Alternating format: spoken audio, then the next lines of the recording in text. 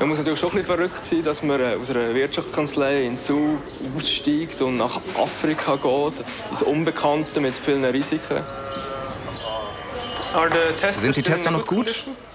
Ja. Angekommen in Tansania als Greenhorn in der Gewürzbranche habe ich da sehr schnell gelernt, dass es ganz viele alte Handelsmonopole gibt, Handelsgeheimnisse. Wenige Familien haben noch immer die Macht über die ganze Gewürzdistribution in Europa. Das Tandoori ist sehr gelungen. Ich kann mich noch erinnern an die Zimt von früher.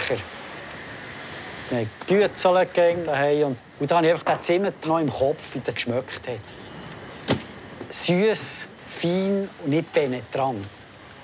Und das habe ich nach 30 Jahren nie mehr gefunden, solche Zimt. Diese wunderschöne Landschaft zaubert mir ein Lächeln ins Gesicht. Die vielen Bäume führen zu einer inneren Ruhe und es scheint, als würden die Probleme nicht mehr existieren. Jahr für Jahr werden die Bauern verarscht und möglichst tief gehalten von irgendwelchen Zwischenhändlern. Und irgendein Bauer hat sicher eine kranke Mutter daheim und braucht das Geld. Das Nachhaltigkeitsthema ist aktueller denn je.